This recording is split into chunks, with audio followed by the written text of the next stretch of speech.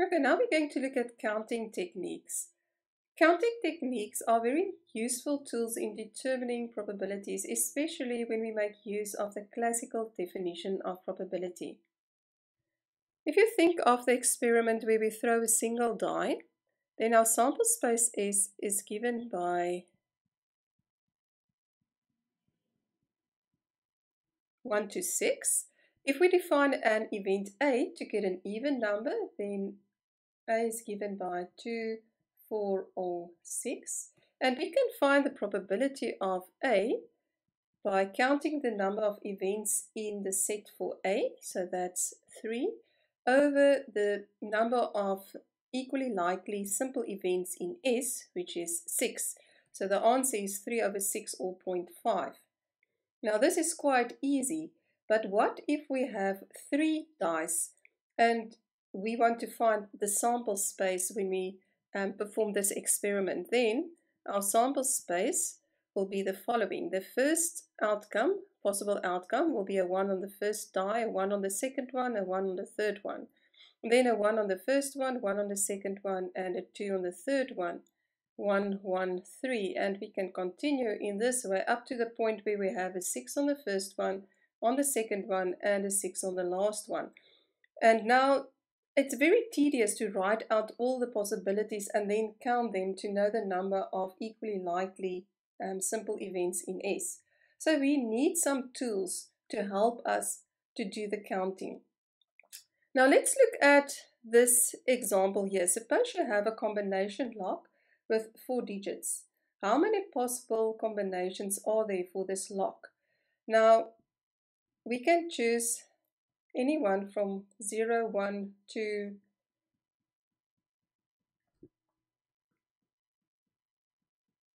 So we have a choice of 10. In the first position, we have a choice of 10.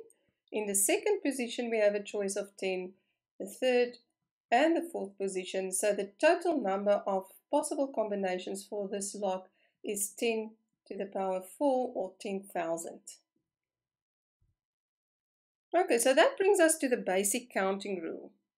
If the first step in a k-step experiment can be carried out in m1 ways, the second step in m2 ways, up until the kth step in mk ways, then the whole experiment can be carried out in m1 times m2 up until mk ways.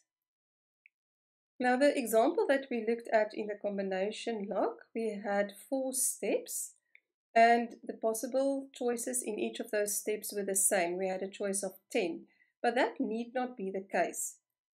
Suppose we have a simple test with five questions. And the first three questions are multiple choice, so we can choose from A, B, C, D, and E. And the last two questions are true false questions. So we have five steps. Question one, two, three, up until question 5. The first question we have a choice of 5. For the second question, multiple choice, we have a choice of 5. The same for the third one. Then question 4, we have true, false, so we have a choice only of 2. And the same for question 5, we have a choice of 2. Okay, so if we answer this um, small test of 5 questions in a random way, how many possible ways are there to answer this test? And that answer is equal to 500. So now we can ask the question, if we answer this small test randomly, what is our chances to get full marks? And that probability to get full marks, if we answer it randomly, is 1 over 500, so not a very big chance. Okay, next, let's look at this example. I have five students, five individuals, so they are distinguishable. And I want to know in how many ways can these five students stand in a line. So you can see that we have three possibilities here, and of course there are uh, many more possibilities. In how many ways can we arrange these five students? We can think of it in the following way. I've got my five positions. For the first position, I can choose any one of the five students. Then in the second position, I can choose any one of the four remaining students. In the third position, I have three students to choose from. In the fourth position, I have only two students left. And in the last position, there's only one student left. Okay, so this is then permutations. There are n factorial possible arrangements of n distinct objects. Just see the note here that n exclamation is pronounced as n factorial and then by definition 0 factorial is equal to 1. So to answer our original question of the five students, they can be ordered in five permutation different ways. So that is 5 times 4 times 3 times 2 times 1 and that is equal to 120. Okay, now next we can say that from my group of five students, I want to select a sample of three students. How many of these samples are possible? Okay, so here we have two samples of three different students. Um, and of course, again, there are many samples of size 3 possible from my group of um, five students. If you look at this first sample here, let's call it S1. Let's call these three students, let's call them Anne, Adam and Adele. On this slide, I have the same three students um, and I've selected them in different orders. But because it's the same three students, we will consider this as a single sample. So now the question is, in how many ways can I select samples of size 3 from my group of 5 distinct students? And that is combinations. There are n combination R different combinations of size R from n distinct objects. So for our example, it will be 5 combination 3 we can also write it as 5 combination 3. And that is by definition n factorial, in our case 5, n minus r factorial, so that will be 5 minus 3 factorial times r factorial, so that is then 3 factorial. Okay, we know that 5 factorial, we already calculated that previously. 5 factorial is equal to 120.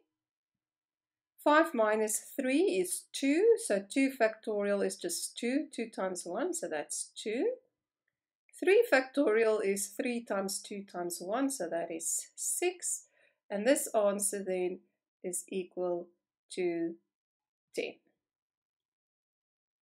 So 10 different samples of size 3 that can be selected from my group of 5 students. Now again, from my group of 5 students, I want to select 3 students and give them 3 prizes that differ in value. In how many ways can this be done? Now, if we look at the 3 students in our um, first sample, Anne, Adam and Adele, if I give the first prize to Anne, the second prize to Adam, and the third prize to Adele, then that would be different than to give the first prize to Adam, the second prize to Adele, and a third prize to Anne. So we will call this six different permutations.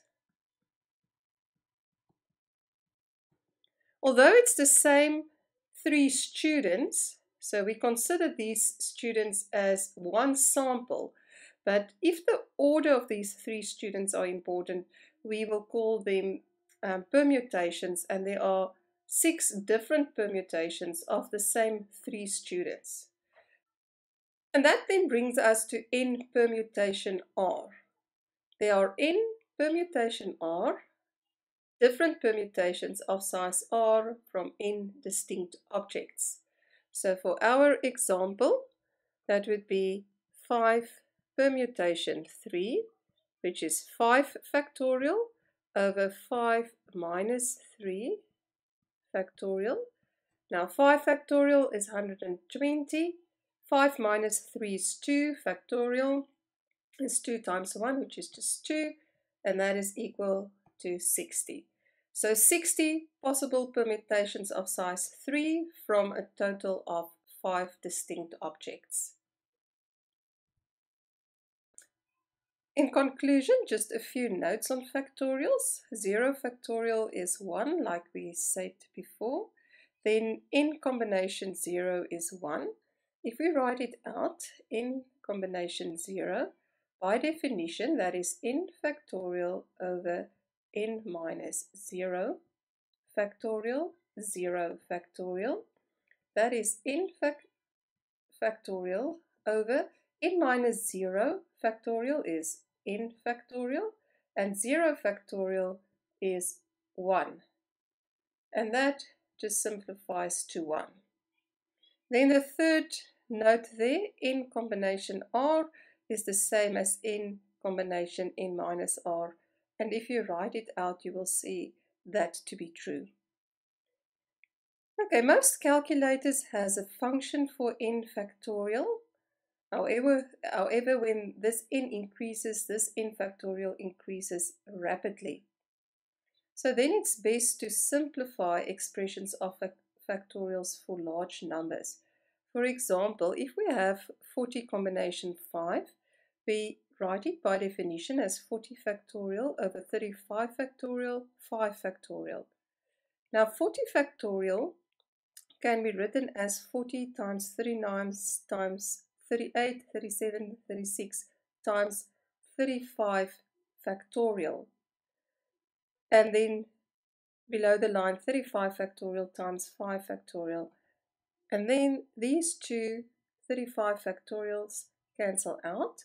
So we have 40 times 39 up until 36 divided by 5 factorial and that will give us our answer.